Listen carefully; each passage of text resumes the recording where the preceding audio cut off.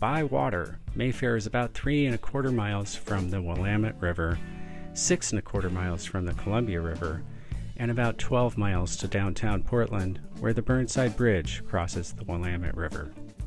Mayfair is one of two floating home moorages on Sauvie Island and has 17 rented floating home slips. It's very conveniently located next to a boat ramp and is only about a half a mile away from the Wapato Access Greenway State Park on Sauvie Island.